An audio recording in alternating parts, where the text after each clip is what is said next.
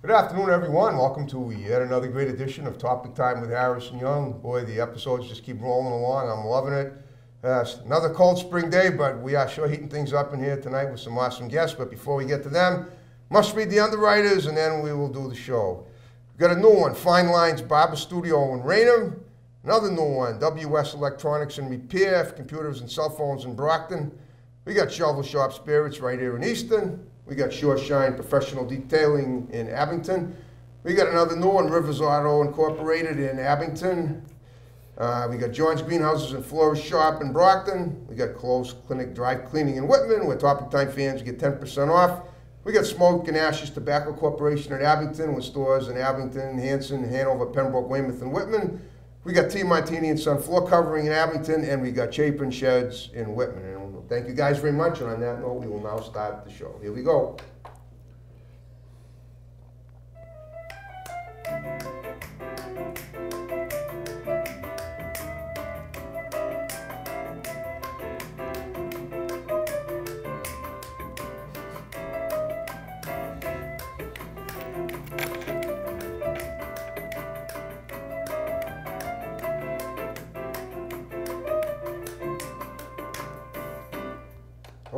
Good afternoon, everyone. Welcome to another great edition of Topic Time with Harrison Young.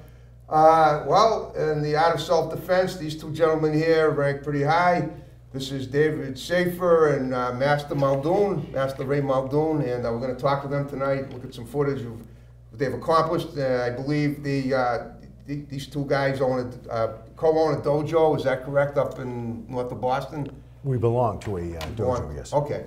Then, of course, like with every guest I have on in here, we're going to check out what their history is, how they got into where they're at now. You guys may remember I had on Sean Burke a few couple of months ago. He's a martial arts expert. I don't know if you guys know him, but he's, he's a stunt man in a lot of films. And these two guys, I guess, do not do acting, and that's cool. Um, so, well, David, you're the, you're the Dave, you're the one I invited on initially. So let's talk to you first about your history. How did you get into martial arts, and, uh, and then we'll work our way to the master here. So go ahead. Well, it's funny, you ask, uh, yeah, on the way up here, I was talking to Master Ray, and, and we were discussing how that happened. And, Okay. uh, my father was a huge influence on that. My father was uh, very friendly with a, uh, a, a teacher at the time. His name was Bruce Marshall from Salem. Okay. And, uh, another- Martial arts teacher. He was, yeah, he Okay. was, he was phenomenal. And, Okay. uh, he was, he was karate. Yep. And uh, I took that for several years, and um, after that, I, I had let it go, and, and it was always burning in my, in my belly to, to come back and take it. And, Okay. And eventually, I worked my way into Taekwondo later on in life. And One question, before, just backing up a little bit. When you were doing karate before, what, what degree belt did you earn? Mm-hmm. I ended up getting around blue, or- blue belt. Okay. Yep, so I was there for a couple of years, and I, I earned, earned my blue belt. And this was when you were what, in high school age, around there? High school age, yes. Okay. And then you and then you stopped it, and then you decided you loved it so much you couldn't Oh, yes. get. And then you went to Taekwondo. Now, quick, I, I have a lot of friends that are martial artists, and I'm I've never I've never even asked before, but now that I'm now that we're talking, I'm wondering is Taekwondo considered more of a more of an intense martial art than karate, or Um, karate and Taekwondo are different. Karate, karate is more of punching, yep. uh, where Taekwondo is more of kicking. Okay, Oh, I understand. Um, all right. Well, now, Master, Master Ray, talk talk about you. How did you guys like hook up, and how did you get? First, talk about how you got started, and then how you Well- guys hooked up. It's kind of similar to him. I started when I was young, k- karate, Yep. which is Japanese, Right. Shotokan to be specific, and I took it for several years. I didn't attain my black belt then. I got up to right below it, brown belt. Okay. Then I took some years off. Okay. My daughter was in a scholarship program Okay. Where? at Mass in uh, Peabody, Okay. and Master Hong, Grandmaster Hong, was starting a, a new school up. Okay. So she got selected as one of the scholarship attainees, and uh, I went along with her. Oh, cool. Okay. And I always, I always liked the martial arts, anyways. And Yep. So I'm watching her, and I said, "Well, I could do this," you know. Wow. So I joined. Okay. Two months later, she quit. How long ago was this? On about 16, 17 years ago. Okay. Yep. And uh, I became very in, involved in, into it. Okay. So Did you guys know each other back then? No. No. Okay, so how, how'd you guys meet up and become, you know, partners in crime in this, in the industry, for lack of a better phrase? We met about six years ago. S- Well, no, actually, no, we met in, uh, You were bringing Max. yeah, Max, so 2011. So, Okay. Yeah, So so seven- seven years 2011, I was ago. bringing my son. Eight years ago, actually. Yeah, Okay. yeah, I was bringing my son. Okay, cool, okay, you both have kids and they're both uh, bo- all martial arts. Correct. Okay. Correct. Um, all right, now, I have to ask too, I mean, as someone who got bullied a lot in school, and I took a judo course when I was in sixth grade, and, and all that ended up happening was I got my collarbone busted.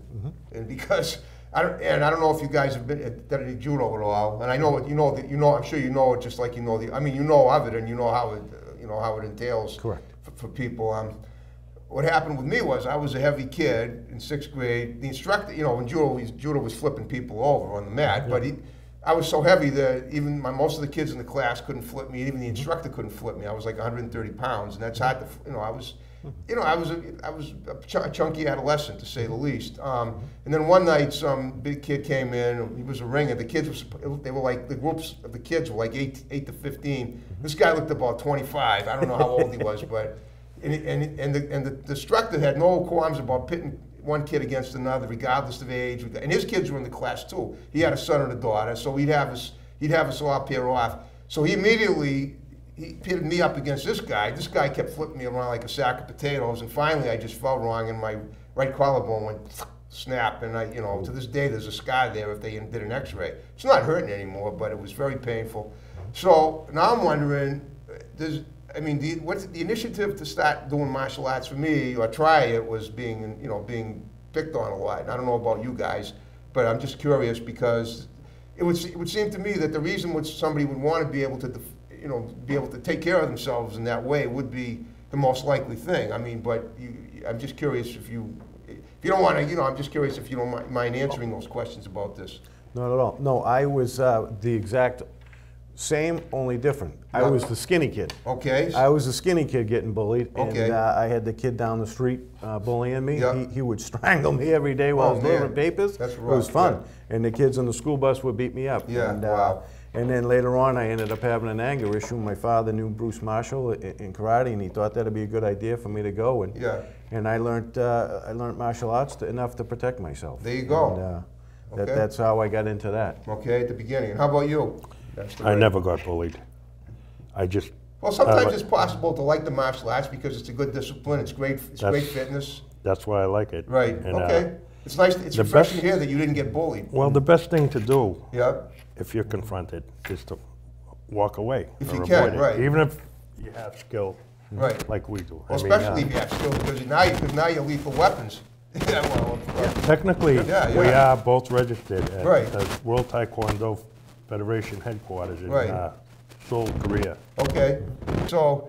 So it's all Taekwondo is all Korean and it's three thousand years old. That's that's awesome. Um, and and I know that there's a type of karate called Kenpo karate. That's that's Yes. Chinese, right? That's That I'm that that quite that, sure that is part is. of karate. Yes. okay. Kenpo and Shotokan. Okay, I know there's so many different you know, Yeah. varieties. I've got, you know, I, I work out. I don't, I've never, since that judo episode, I've not gone to a gym at all. I mean, not going to, uh, to not taking a self-defense course, but I have worked out in many gyms, and Mm-hmm. a lot of my friends were are into martial arts, and they and they demonstrate. They put on, the, you know, they, they kick the bag pretty good, uh, and it's and it's incredible. All right, so now you're you're registered in Seoul, in the what do they call that? The Hall of It's called the Kukkiwon. It's the World Taekwondo Federation headquarters. Okay, all right. So how do you guys, now you guys basically, you, you don't run this dojo, you're just members, is that true? Correct. Okay. Uh, Master Ray is actually a teacher there. Oh, he is, okay. And what about you? Do you teach anywhere? I, I I don't teach anywhere. I can teach there. I have. Okay. It's basically depends on what Master Hong wants us to do. Okay, Mas- Master Hong is the one who runs runs it and owns it. Yeah. And then Master Ray, Master Jen, and Master Mike are the three masters there. Okay. And then there's the black belts, and then you go down down Okay. the chain. So I, being having a black belt, I'm able to to teach. Okay. However, he is, he is a higher belt than me. Right, I understand, okay. Um, so you spend, I take it you spend a, a lot of time at the gym, doing, you know, at the do, they, it is the dojo, and you pretty Yes. much, it's your, it's your life now, it's your life's work, right? Yes. Okay. Yes. It's actually, it's actually called a dojane. Dojo. Oh, oh, there you Dojo is Japanese. Yes, I know. that's karate. Is that true or is that yes, just that's correct. No, that's karate. Yep. Okay. Kenpo is actually known as the way of the fist. But he said dojane, and I'm thinking John, like Joe Do, John Do, Jane, No, Jane no, Do. dojang. Oh, Dojang. Jang. All right. my bad. J-A-N-G. Okay, I Yep. thought it said Jane. Yeah. Dojang. Yep. Okay. Yep. These are things we pick up along the way. All right. Well, in terms of like um, matches and stuff, do you do you do demos like travel all around the area, Boston, and the different places and We do tournaments. tournaments? That's what I meant. Tournaments. I don't, well, Dave went to Korea Okay. and uh, there's usually national tournaments. Yep. Like, uh, they have one in Virginia. Okay. Uh, They're all over the country, really. Right. Right. And So, when you say they went to, to Korea, you're talking about the Well, yeah. masters from the. Correct. from our dojang, Okay, you're Dojang. it's usually the younger participants that go. Okay. We, we've done we've done local ones Yeah. around here, and we've done breaking. He's he's probably better at the breaking than I am. Breaking the bricks. Yeah, break. Okay. we we're both able to break bricks. Yep. We're both able to break wood. Yep. Um, we, we've both had competition. Yep. Master Ray is obviously much better at it than I am. Um, Okay. But we, we, we like to uh, to push each other when I we do understand. You push each other like Gehrig and Ruth. Yes. I yes. Perfect. Now, I've always wondered, how do you condition yourself to be able to do that, to be able to break bricks? Was it, what is it, what is it, is it any weight lift, weight training, or, ninety percent focus. okay? Um, We, we- you, I understand what you're saying. Right. Most people would think it would be strength. Most people Right. would think that okay, I- I'm a big guy, whatever. I, I- you break a brick. It's not that at all. Yeah, It's okay. really because I've, I've. tr- It's almost like golf. When you go to when you go to swing a club, you know, Yeah. and, you, and you try to put all your weight into it, usually the ball goes about three feet. Right. When you when you let it, you know, just relax and let it go, it goes 300 feet. Right, It's the same. It's the same Okay. thing with, with taekwondo okay. and breaking. But still, it must take a lot of practice, and I mean, it's something you kind of have to teach yourself. You can't Yes. be taught how to do it. Uh, well, you, you're taught from the beginning of, of how to do it so that your shoulder is, is in a certain spot, your Okay. hand is in a certain spot. Okay. You know, otherwise you would get hurt. Right. Each uh, belt testing, Yeah. each time there's belt testing, they have to demonstrate a break. Okay. And the higher up you go, Yep. the more, The more bricks you use, more, well, they usually use. We wood. start at wood. start at wood. Bricks Okay. are, uh, Yeah, bricks are more Not for, for for, for, for Right. the, for, for the more uh, advanced students. Okay, all right. So what about like, so what, what, what how do you coordinate your, your bodies to work to, to become, as, you know, as, as uh, self, self uh, endowed as they are for this sort of thing? Training. Training. And what does training consist of? You Well, we have our routines, Yep. and it's, then we get into technique. Okay. Like I said, the, the higher up you go in the rank, yeah, the more technique, the more advanced technique you learn, okay, and uh, it's just repetition, repetition. Repetition. And, uh, okay. And, and it's something that, it, I mean, there's, there's no size limit, and, and when I say that, I mean small people can do it as well. Absolutely not. anybody could. Yeah. Anybody can. Yeah, because I know, can. I mean, eh, but I'm. I could get you to break a brick. Um, yeah, okay. Uh, I- I yeah, get that's, you to it's break just- a- that's encouraging just to hear. Yeah, I could, I, we could do it. We Okay. could do it. Without, Yeah. without, without, We could do it. without breaking my wrist first. Well, you're going with your palm, so you won't have to worry about your wrist. You're not, you're not, you're not doing, you Yeah, know. that's- that's that, That's a little bit, yeah, that's Right. more for show. That Right. looks nice and so forth. No, most of it's by, by palm. By the palm. Yeah. Yeah, I understand. we I heard could- from a martial arts mm-hmm. expert that that this that's part of the hand is the most lethal part. Correct. Okay, not the fist. Correct. Not the knuckles, but the but the lower part That, here. that, that, yeah, that can be, the- everything can be used as a weapon. Okay. Now, what about now? But this guy here that I'm talking about, and, and sadly, he's no longer with us. He Mm-hmm. took his own life. I, you know, he had a lot of stuff going on. But what he would do, and he was on he was on the TV show Chronicle once. Back in Yeah. 2008, we had we had a bunch. You know, the Guardian Angels are right. The, Of course we do. Kid Sliwa. I don't know if you ever worked with him. Did you? No. But- Curtis? Kurt Sliwa. Sliwa. Oh, I heard of him. Yeah, well, they came to Brockton. I live in Brockton, it's right next door. We were having a lot of issues with violent stuff happening in Brockton. So they were literally, you know, the, the, they were the, the Good Samaritans from New York and the subways, and they figured they, they were going to bring their stuff to Brockton. So mm-hmm. they came to Brockton. They get, we were on, Paul, my friend, was on TV, and, and mm-hmm. when he did it, when he took care of, of his situation, he wouldn't just hit somebody, he would just literally body slam him to the floor. Now, I don't know how, I'm sure you guys are good at that, but that's, mm-hmm. that looked to me like the most effective way of getting out of a situation. But again, not everybody's, he, he made himself pretty big from working out. He worked out at the gym. That's where I met him. Um, you know, he wasn't huge, but you know, but he made, but he strengthens he strengthened his upper body and his lower body, and he was able to do that to you know to people that were bigger than him. And he you know he was a cop too. I think he had, I think he actually was a cop right here in Easton. He had a his his obituary had all kinds of things you know that I, I read, and I was like, wow, I didn't know anything. I didn't know half the stuff that I read about him. He was even engaged to be married, Yep. which is terrible. But so what I'm wondering is when you, eh, I mean, in a, in a match, obviously. I mean, when you have tournaments, is that is that, is that what they consist of, or is it just basically, you know, just two guys showing off for the for the public? No, a ma- uh, tournament consists, well, Taekwondo, first of all, is a sport. Right. It's an Olympic sport. It is okay. So you have to wear padded. Uh, The more advanced tournaments. Yeah. They have electronic sensors on, it's called a HOGO. Okay. Electronic sensors? Electronic sensors, Well, wait a minute. What what what what, it's, what purpose do they serve for the sport? because that's how you get your points. Oh, okay. When you hit somebody Yeah, in the HOGO area or the head, yeah.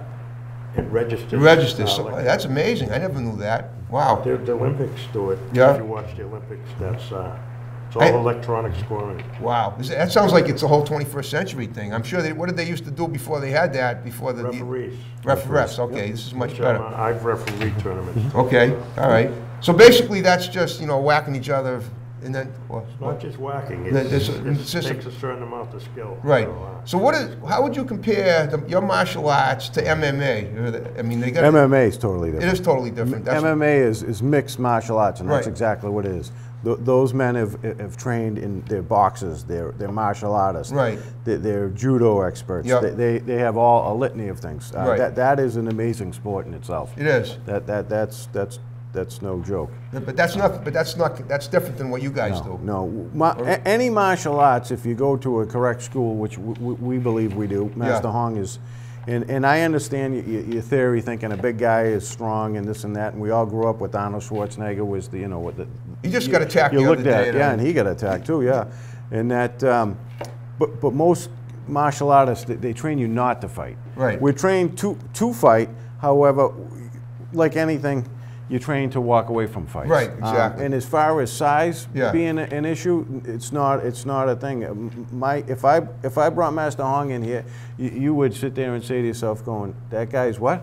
No, no, I you believe I mean? him. And uh, let me tell you, uh, he, he's a he grandmaster. he's a grandmaster. Okay. And, Seventh degree. Yeah. Wow. And he, uh, he he can do things like I've never seen in my life. He can break cans, you know, with his hands, with You his probably feet. break this table.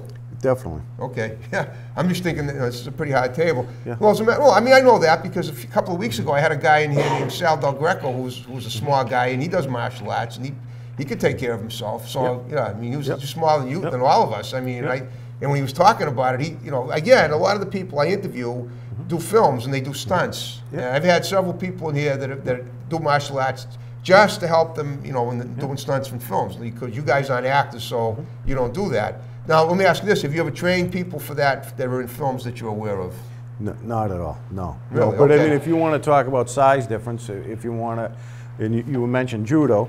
When Right. we were talking on the way up, Jimmy Pedro. Okay. There- Now there's one there. He's an Olympic. Okay. He's a gold medalist. He, he's the best in the United States. For judo? For judo. Okay. And if you saw him again, small guy. I like to hear this Okay. because you know it makes He- me. he's a small guy. I'll He's be honest with you. I, will. I get up every day, and, and I, I don't know. I mean, I may eventually. I'm, I'm almost 60 years old. I don't know. You guys are probably a little younger. I'm guessing. Yeah.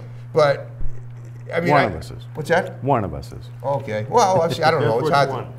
Uh, well, I, I thought you might have been, but the thing is, I mean, I'll be honest with you. I, I mean, I you know, I, I'm, I get around okay. Nobody, I, I don't usually get picked on as much as I used to, but I still look at people, and sometimes I think, what if, uh, you know, what if he, what if I look at this guy the wrong way? What's what's going to happen? Am I going to be able to handle that? And I think about that all the time. I mean, I admit it. It's always in my, it's, it's in my head all the time. I'm, I got the show. I love it. People are very happy that you know to come and be interviewed by me. But I always ask myself, what could, ha- is there any chance that something could, some some unscrupulous individual could look at me and think, uh, you know, this guy, let's, I, I, I don't like this guy for whatever reason, where he looks or whatever, and could something, could, am I, you know, should I maybe do something to him to let him know that? And then I, and then I'd be, you know, what am I going to do? So I'm always thinking that. I, you know, I, I don't have obsessed with it, but I do think about it. So I mean, that's why I like to hear that, small people, and I'm not small. I'm mid, I'm about mid-sized. I'm about one average size. yeah. Right, right. To, can can handle stuff like you know can be able to take care of themselves. It's just an inspiration to me. Oh, even Oh, though, absolutely. And then on the flip side, Yeah. I, I grew up with a guy named Dickie Kimba. He's Yep. very famous around here. Yep. He was a phenomenal um, uh, kickboxer growing up, and, Okay. and I was very good friends with my father and so forth. He was actually the one when you talk about things, uh, different events. He worked at the Middleton jail. He was part of, a, I don't know the exact term of it, but it was like, like a gang apprehension. Whenever anything happened, there was a fight in the jail. Yeah. They would call Dickie and the guys, and they would walk. They would go in like SWAT guys. Wow. And and when when Dickie was called, it was all set. We, we, we were all done. There was no more. We, we didn't have to worry about them hurting anybody after that. Wow. You know, he was. You know, he was probably about 250 or so. Yeah. Give or take. He, Right, He well, was that's- just. that's a he was big a guy mammoth of a man. 250, yeah. He was a mammoth of a man. Oh, yeah, You yeah. know, but then, like I said, then you got Jimmy Pedro, who's the complete opposite. And I tell you, both of them were phenomenal in what they did. Sure. You know. They yeah, were- opposite they- ends of the they- They are spectrum. definitely the you know one of the experts. Okay, well, I know a guy who's about, who's- who's like 5'6", 140. His name's Kenny, Kenny Wagner, and he, Yep. I don't know if you know him, but if you've heard of him, but he was he was absolutely legendary in our area for, for, Mm-hmm. for karate. Mm-hmm. And, and what happened was, you know, in the 80s, he used to kick the crap out of the bag at the gym that I used to go to. And he was amazing. And one time, I guess in 1989, he was attacked by five guys at a bar in Norwood. Mm-hmm. And, he, and he pretty, and I saw him afterwards, and he took care of himself. Yep. Unfortunately, though, what he happened, what I think happened to him was he hyperextended his hip. He kicked the bag mm-hmm. so hard that he needed to have two hips replaced. Mm-hmm. And now he's like 66, 67, and I don't think he can do karate anymore. So this is what I'd worry about if I if somebody like you know like myself were to take it up and you know be great at kicking the bag, but then the, you know the the underside is what could happen and what could could the aftermath be could be bad. Like. I mean, you guys haven't been injured. Have you guys ever gotten injured doing doing your, your sports? Oh, w- y- y- yo, you definitely get injured. You do, But, but okay. you got to understand, Yep. any type of martial art. Look, obviously, me with the judo class. Yeah. f- Yeah. for me, what I learned more out of it is respect, Right, of course. loyalty. Yep. Um, I learned how to walk away from from things. It gave me. Uh, a, a you know, a sense of uh, well-being Yep. and, and pride and so forth. So, Okay, know, wow. that that that helped me. Um, you know, not every. You know, my father told, told me, and I was tell, telling Master Ray on the way up. There's always going to be somebody tougher, Of course. no matter who it is. Right. And a gun stops everything. Right. Exactly. So no matter how good you are, and, and we were raised, you know, with the, with to me was Bruce Lee, Chuck Norris. I mean, that's how we grew up, you know, and, and then the Arnold Schwarzeneggers for that type. You know what I mean? And you know, uh, for me, I, I just love Taekwondo for what it does, for my training, for my mental, everything. You know, nobody's going to be a is going to be the the end all be all of anything. exactly. And I was with Dave. Okay. When he started. And uh, then as he advanced, he was very determined to Yep. get his black belt. Yep, of course. So I spent even more time with him. And uh, along with Grandmaster Hong. And uh, he did it. He persevered. Yep. And, uh, That's great. I mean, so you, get- I mean, it's a great life. If you, I mean, and, and you both, and here you are, you're both looking pretty healthy, and you know, and you and you continue to do it, and you'll do it for the rest of your lives and, Yep. and enjoy it. it is a lifetime. uh, Of course, it is. Exactly. pursuit. Yeah. And once you get that, nobody can take it away from you. Ex- uh, true. Well, guess what, guys? We're under five minutes to go. Sweet. It is. So what I want you to do in the remaining time, you can give shouts out to people, Master Hong, anyone at your, at your gyms, and your friends, family, your kids, and then we'll wrap the show up. So go ahead. Uh, I'd like to thank Grandmaster Hong. Grandmaster Hong.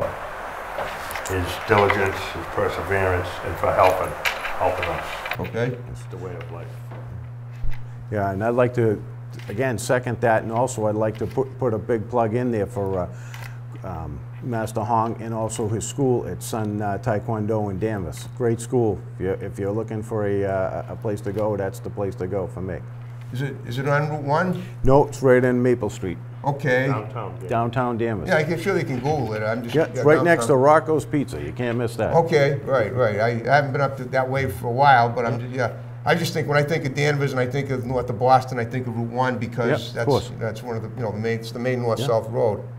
Well, well, I- listen. So what is so his summer's coming up? You guys get any big tournaments in the f- near future? Th- There'll be tournaments throughout the summer. yes. Okay. There's usually annual tournaments, so they're the same time Okay. every year. Are you- Uh, The ones I participated. Yep. I'm, I don't really compete anymore. I- Okay. I referee, You referee, okay. so uh, it is, it- mostly the younger people, Like, you know, teenagers and. Oh, yes. teenagers, yes. Young twenties. Okay. But the black belts are amazing to watch because. I know. there's a different set of rules that they go by, Yep, like head contact. yep, Head contact is allowed with the black belts. wow, So, uh, it's fast and it's. It's furious. exciting, Yeah. yeah. Yeah. Are you guys ever planning a trip to the, to the, or- to the Asia, to, you know, see, see the roots of your, of your, of your, uh, learns, Well, learnings? Fu- Funny you should say that again, is, is my son is from Seoul, Korea. I adopted my son from Oh, Korea. okay. And, and, and Master Hong, Grandmaster Hong actually is from Seoul, Korea. Okay. And ironically, they both started when they were six years old. Wow, Um, and my, and at some point in time, I'll probably bring my son Maxwell there. that would be to see it. okay. Um, that's, it's on my bucket list of things to do.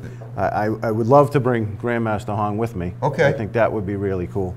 Um, Maybe we'll go with you. yeah. Okay. Yeah, so that's, that's one of those things. Well, listen, I hope you guys had fun with my show tonight. Hope- Absolutely. Hope we talked about a lot of things, we should get some good footage. And on that note, we're gonna wrap it up. You ready to? We're ready to wrap it up? All right, folks, another great episode of Topic Time. See you next time, coming up. See you later, thank you.